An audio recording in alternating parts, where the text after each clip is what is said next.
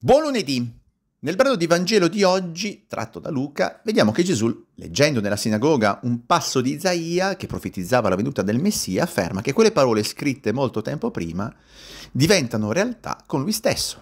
Gesù afferma, oggi si è compiuta questa scrittura che voi avete ascoltato, come per dire, colui di cui parla Isaia sono io. L'Evangelista Luca ci tiene a sottolineare che questo episodio accade, accade nella sinagoga di Nazareth. Nazareth era dove era cresciuto Gesù. Quella gente sapeva chi era, chi era la sua famiglia, ma era per tutti il figlio di Giuseppe, di Maria e non certo il Messia.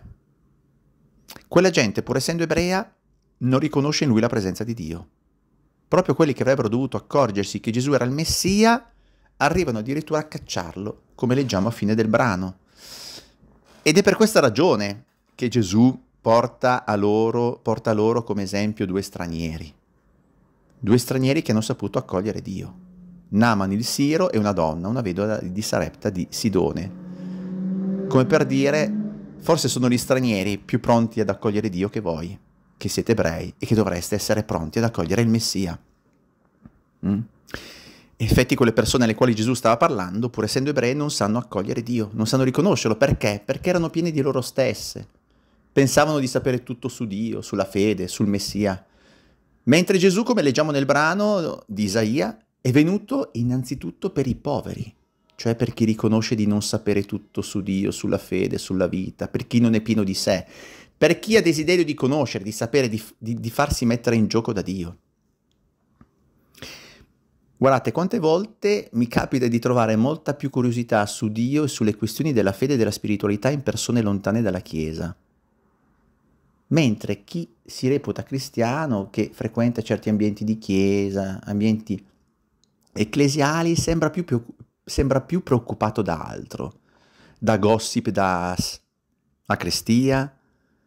Sembra, sembra a volte di vedere le persone più affascinate dagli intrallazzi ecclesiali, clericali.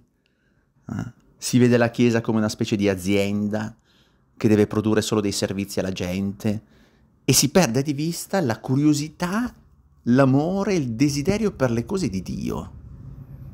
Si, parlano, si parla di mille cose negli ambienti ecclesiali, spesso meno che di Dio, e anche tra preti. Eh? Ecco, quegli ebrei erano vuoti di curiosità per Dio pieni di loro stessi, delle loro liturgie, delle loro ritualità, prescrizioni religiose, bravissimi a osservare tutto, ma Dio era sparito dal loro orizzonte. Pensavano di aver capito tutto della fede e non c'era in loro nemmeno un briciolo di curiosità, un minimo di desiderio di mettersi in discussione. Sapevano già tutto, cosa poteva insegnare loro un giovane falegname. E questa domanda ce la dobbiamo fare tutti, io, tu, noi.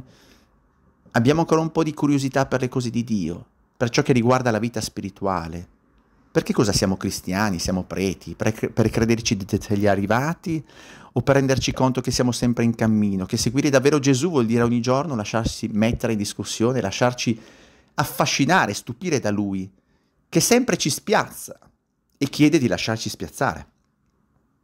Come dico spesso, credere, coltivare la fede serve a darci un punto fermo, ma allo stesso tempo il cammino di fede non è sedersi, e chiudersi in una specie di fortino, ma vuol dire avere sempre il desiderio di metterci in discussione, di accettare che abbiamo capito ben poco su Dio e c'è tanto, moltissimo da capire e da scoprire. Mm?